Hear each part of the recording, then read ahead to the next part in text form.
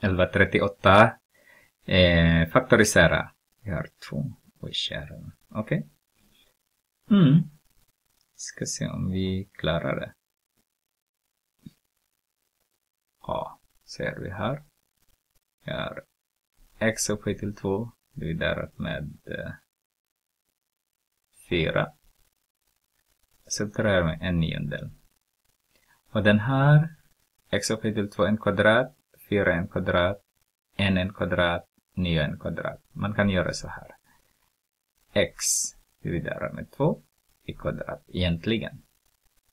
Minus en tredjedel i kvadrat. Om ni kommer ihåg eran heter den, potenslagar. Och det är en differens av två kvadrater. Det betyder att vi kan använda eh, konjugatregeln, omvänd konjugatregeln då. Då har vi x dividerat med 2, adderar med en tredjedel. x dividerat med 2, subtraherar med en tredjedel.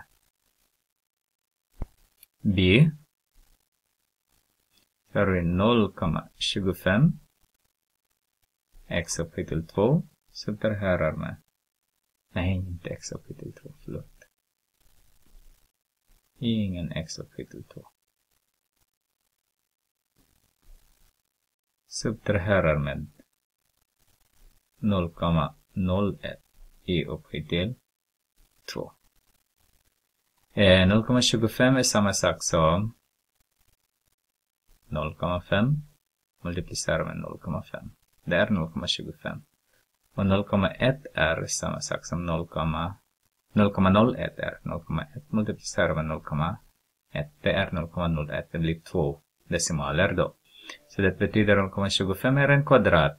Eh, 0,01 är också en kvadrat. Eh, I kapitel 2. Det ger oss eh, omvända konjugatregeln då. Så 0,5 adderar med 0,1 i. Sen den andra 0,5 subtraherar med 0,1 i. Ser ni inte det så jag skulle göra så här. Eh, en vad blir det? 0,25 är samma sak som en fjärdedel och en hundradel 0,01 är en hundradel i upphöjd till 2. Och sen gör ni som jag har gjort där i ettan då, i A. Så har vi en halv i kvadrat. Jag sätter här med en tiondel i, i parentes i kvadrat. Så ser ni att allt den här nu är i kvadrat. Så en halv är samma sak som 0,5. En tiondel är samma sak som 0,1. Så om ni kan skriva på det här sättet är också okej. Okay. En halv subtraherar med en tiondel i.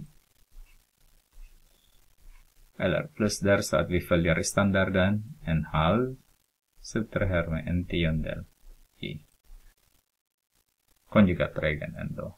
Så det spelar ingen roll vad ni vill använda. Om ni tycker att det är lättare att använda eh, bråktal använd bråktal. Men om ni tycker att det är lättare att använda decimaler, då använd decimaler. Det är ingen betydelse alls.